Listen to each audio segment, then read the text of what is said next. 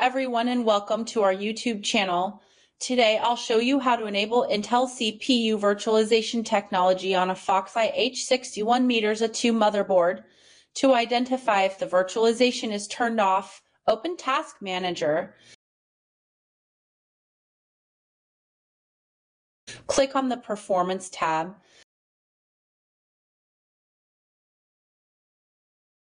Click on the CPU. Currently, I am using third generation Intel Core i7 processor. Underneath the processor utilization, you can see the virtualization is disabled. That means the CPU virtualization is turned off. To enable this, restart your computer if it is already on. As soon as the computer starts booting up, continuously press the appropriate key to enter the BIOS setup. For many Afox motherboards, this key is usually delete. You might see a prompt on the screen indicating which key to press. Once you are in the BIOS setup, use the arrow keys to navigate through the menus. Look for an advanced tab or a similar section where CPU settings are listed. Within the advanced tab, look for options labeled CPU configuration U processor or similar.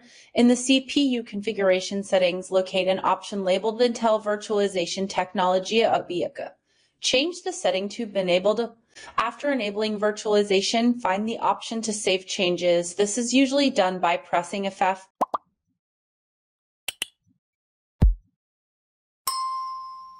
But check the on-screen instructions for confirmation. Choose yes when prompted to save and exit. Your computer will restart and Intel virtualization technology should now be enabled. Once this process is complete, you can use virtualization software like VMware VirtualBox or Hyper-V that requires CPU virtualization support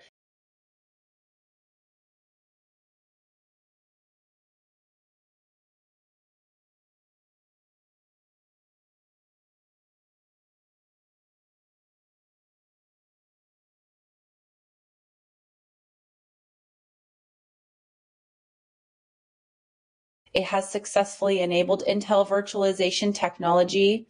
By following these steps, you can enable the Intel virtualization technology. Thank you for watching.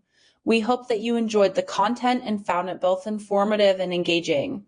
Don't forget to like, share, and subscribe to our channel for more useful videos like this one. Until next time, keep learning, growing, and spreading positivity.